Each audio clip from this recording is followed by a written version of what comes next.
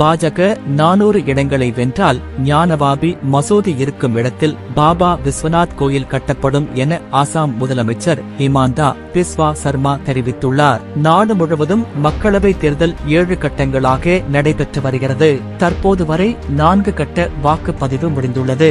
நான்காவது கட்ட வாக்குப்பதிவு நேற்று முன்தினம் நடந்து முடிந்தது. தேர்தல் பிரச்சாரங்களின் போது பாஜக மற்றும் காங்கிரஸ் தலைவர்கள் மாற்றி மாற்றி குற்றச்சாட்டுகளை முன்வைத்து வருகின்றனர். வருகின்றனர். இந்நிலையில் டெல்லியில் லட்சுமி நகரில் நடைபெற்ற தேர்தல் பரப்புரையின் போது பாஜக வேட்பாளர் ஹர்ஷ் மல்ஹோத்ராவை ஆதரித்து பாஜகவை சேர்ந்த அசாம் மாநில முதலமைச்சர் ஹிமந்தா பிஸ்வா சர்மா பேசிய கருத்து சர்ச்சையை ஏற்படுத்தியுள்ளது. ஹிமந்த பிஸ்வா சர்மா பேசுகையில் காங்கிரஸ் ஆட்சியில் இருந்தபோது நாடாளுமன்றத்தில் காஷ்மீர் ஆக்கிரமிப்பு குறித்து எந்த ஒரு விவாதமும் வைக்கப்படவில்லை. ஒரு காஷ்மீர் இந்தியாவிலும் மற்றொன்று பாகிஸ்தானிலும் உள்ளது என்று எங்களிடம் கூறப்பட்டது. தற்போது பாகிஸ்தான் ஆக்கிரமிப்பு காஷ்மீரில் ஒவ்வொரு நாளும் போராட்டம் நடந்து வருகிறது.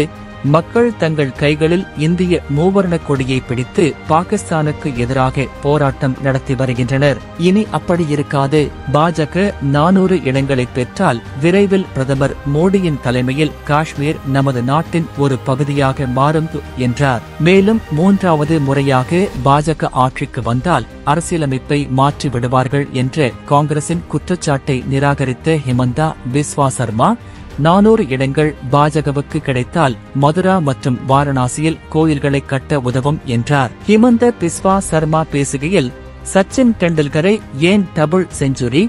ட்ரிபிள் செஞ்சுரி அடித்தார் என்று கேட்பீர்களா? முன்னூறு சீட்கள் இருந்தபோது ராமர் கோயில் கட்டினார் மோடி. இப்போது நானூறு இடங்கள் கிடைத்தால் மதுராவில் கிருஷ்ண ஜென்மபூமி உருவாகும். வாரணாசியில் உள்ள ஞானவாபி மசூதியை மாற்றுவோம். அங்கு பாபா விஸ்வநாதருக்கு ஒரு பெரிய கோவில் எழுப்புவோம்.